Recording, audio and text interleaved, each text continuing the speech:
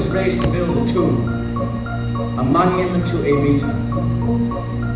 Only the pedestal was completed, and Evita's body disappeared for 17 years.